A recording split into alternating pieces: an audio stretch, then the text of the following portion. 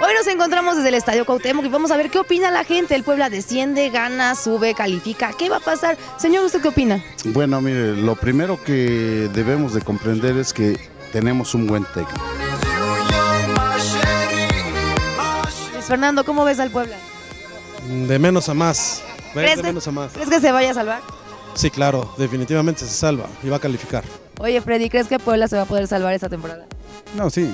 De que se salva, se salva. Querétaro perdió. Don Polo, ¿cree que el Puebla esta temporada se salva? Sí, seguramente sí. ¿Confía en el director técnico que tiene? Claro, muy, muy buen, muy buen técnico. ¿Que el Puebla esta temporada se va a salvar? Sí, parece que hay un equipo más fuerte, entonces yo creo que sí. Gabriel, ¿confías en que Puebla se va a salvar esta temporada? Ah, sí, claro que confío. Con Pedro, ¿confías en que Puebla se salva esta temporada? Sí, claro que sí, hay equipo, tenemos con qué y vamos a darle. ¿Confías en el director técnico que tienen ahorita? Por supuesto, es un director técnico experimentado y esperemos que con el apoyo del equipo y él podamos salir adelante. Jaime, ¿confías en que Puebla se salva esta temporada? Mm, sin problemas. A fuerza, ¿verdad, Chavita? Claro, claro. Sí, se salva y, y vamos a- para arriba, para arriba, va para arriba el pueblo. Amigo, ¿por qué a Monarca?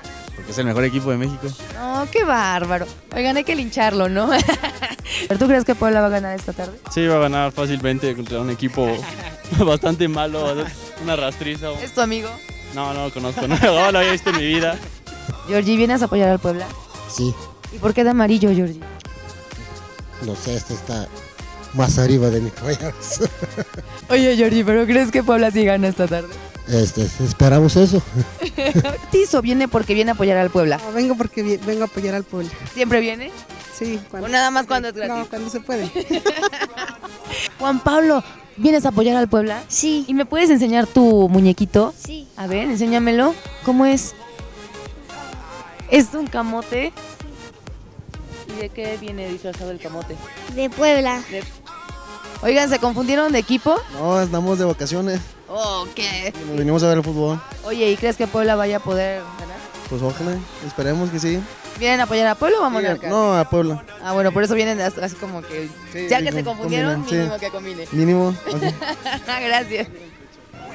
Y con esto el Puebla de la Franja rectifica que sí va a permanecer y no va a descender. La afición de plano súper contenta con este marcador. 3-1 fue el marcador final. Muy bien, gracias por el trabajo de Ingrid Martínez. Hay confianza en la gente, ¿no? Ya se ve, Se ve. Otra, otra actitud. Bueno, claro. se le ve, se le ve. La gente se está, se está retratando en la en las, en las taquillas. Bueno, jornada 5 del fútbol mexicano. ¿Qué, qué dejó esta jornada 5? Cosas muy interesantes, resultados muy interesantes. Ratifica el buen momento que pasa Tigres, que pasa Cholos. Que fue el mejor partido, ¿eh? Un partidazo de Chile, este, de Tijuana y Tigres. A mí me gusta más Tijuana y creo que merecía ganar. Y la verdad, un partidazo, ¿no? De alta Es calidad, de alta calidad. Muy, de alta calidad. Ves que además, qué jugadores. Unos, sí, Los dos. Yo creo que los dos, los dos equipos Tienen son muy dos buenos equipazos. ¿no? Y jugaron un partidazo. Y junto con el de León y Cruz Azul, ¿eh? también lo que sea cada quien, un partido de toma y daca, que eh, León parece que va encontrando su, su vieja forma y Cruz Azul que va para arriba también. Y Cruz Azul pudo haber goleado también. Esos dos partidos, partidazos. Cruz Azul también pudo haber goleado dos anotaciones de Mariano Pavone. Sí. Decías de Cruz Azul. Sí, que pudo haber goleado dos anotaciones de Mariano Pavón, pero falla otras dos que pudieron haber marcado la diferencia. Y León reaccionó rápido después de que Cruz Azul ya se había puesto en ventaja dos goles a uno. Todavía sigue la duda de Rafa Márquez en esa segunda anotación que reciben, donde choca con el argentino. El mexicano se queda tirado sobre el césped, pero Pavón rápidamente se levanta para poner el 2 a 1. A ver, Atlas bien también. Bueno, lleva bien. 10 puntos, ¿eh?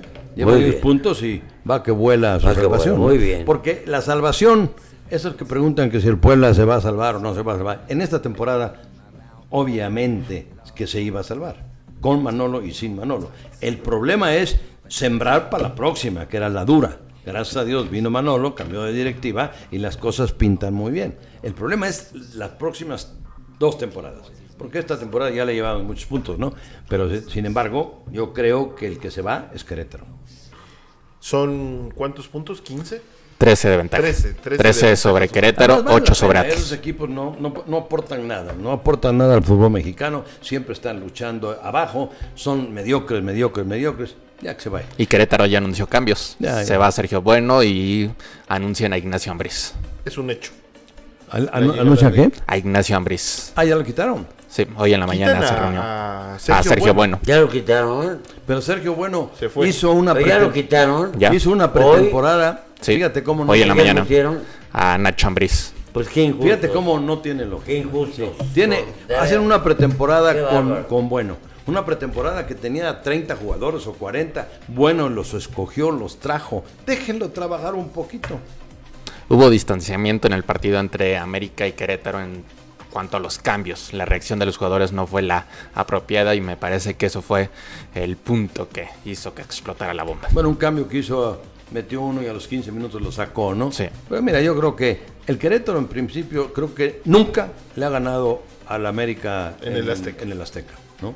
O sea que llevaba las Todas apuestas de, estaban muy de en perder contra, y. América pasando por un buen momento con una nómina que va regular. Bueno, América, hay que regular. decirlo. O sea, no, no comparas al América con Cholos. No, no, no, con nadie los Tigres. está comparando. Con Cholos, con Es Tigres. tercer lugar en con América. Cruz Azul. No, América es un Es tercer lugar ahora. Sí, no, no, no, no. Le metió nada. tres a Querétaro, Hombre, lógico. por favor. a De Querétaro nómina a Se nómina. lo mete cualquiera. Pero el cuestión de, la cuestión de Querétaro es, es dramática porque este cambio viene ya a, a ratificar el mal momento que pasa el club, el, el distanciamiento entre los jugadores, Además, en fin. traen a Ambriz que no ha hecho nada. ¿Qué ha hecho en su historia o cómo ha estado? Nada, No, fracasó realidad- recientemente con las Chivas. Bueno, por eso te digo. Pachuca le gana a Toluca, Toluca a la baja, ¿no? Sí, Toluca anda mal. Toluca anda mal. Y Pachuca va quitándose las malas mañas que dejó Hugo Sánchez, ¿no? Con el nuevo entrenador y va reaccionando. Le está costando reaccionar, ¿no? Porque está envenenado de las estupideces No, de Hugo no Sánchez, puede ¿no? ser. Pero poco a poco se va, se va este, Limpiando. limpiando de ese maleficio. De, ese- de ese maleficio. Muy Pumas, radical en sus. Hoy, hoy amaneció. No, no, siempre, bueno. así es, siempre. pero en especial desde la radio. Así es, Pumas y Santos empataron. Ya decíamos, Puebla le gana 3-1 a Morelia. Y el Atlante, el Atlante que estrena director técnico en la figura de Daniel Guzmán, le gana a Monterrey 3-1. Que el Monterrey está peligroso. Vaya, va muy mal, ¿eh?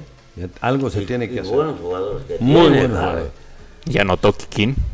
Sí. Y eso ya es milagroso. Mándame. Anotó Kikín Fonseca con el Atlante. Ah, es un jugador que lucha, ¿eh? No Muy lo quiere bien. mucho la prensa, pero es un jugador que, que, que da lo máximo. Nos vamos a la pausa. Es muy breve. Continuamos.